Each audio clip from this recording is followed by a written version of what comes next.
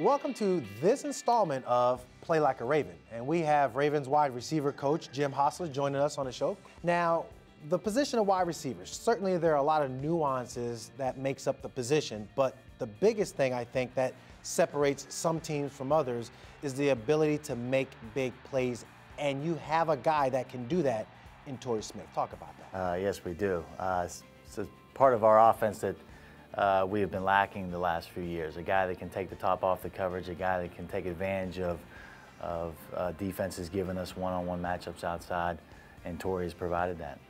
Here we have a uh, just a normal situation, first and 10. We're in a two-back offense, uh, a run formation for us, and a team is playing us for the run. This is a, a seven-man blocking pattern in an offensive running scheme. I mean, we got seven guys to block their seven. And when they enter the eighth guy, he is an extra defender in the box, so he becomes somebody that cannot be blocked. Um, and you have different ways to block him. You, can use the receivers, you can run to him and leave that guy as the unblocked guy. But here, because there is an extra defender, we're going to take advantage of it and take our one-on-one matchup outside. Right away, as a former receiver, I'm salivating because it is one-on-one coverage. He's off, because of his speed, he quickly closed the gap between him and the, the defender, or basically, as we call it, uh, closing the cushion, making him open up his hips. And if it's even, we're leaving, going by Torrey and uh, his best corner. Great point, great point. And this is, again, a very young player, but almost textbook route. And we teach this route just uh, as you have stated.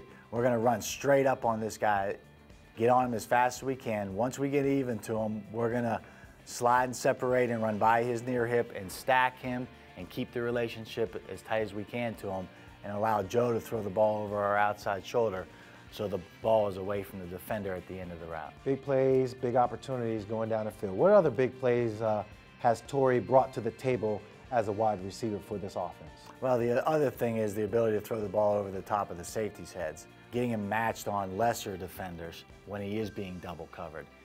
Um, there are a lot of players that can play one-on-one in this league, but the ability to have a guy that can beat two defenders um, is huge. And here, uh, this is after a turnover, which uh, we we grab momentum and then take a shot and and take advantage of the momentum we've got with a touchdown that that probably puts this game away. Right away, he's a single receiver, two tight end formation, and based on the personnel, it looks like it's a run play.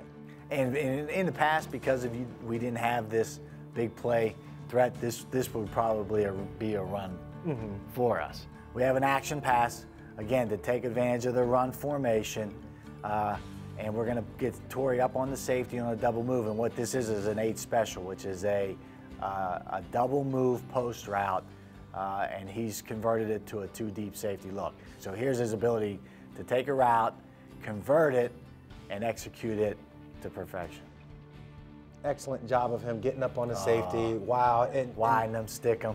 Creating great separation, and Joe obviously throwing it only where Torrey can go get it. And, and him having the ability to run this ball down away from the angle he's on and extend and finish on the goal line. So much goes into creating big plays. We looked at Torrey Smith, his ability to make adjustments on the fly, the ability to go up with strong hands to make plays.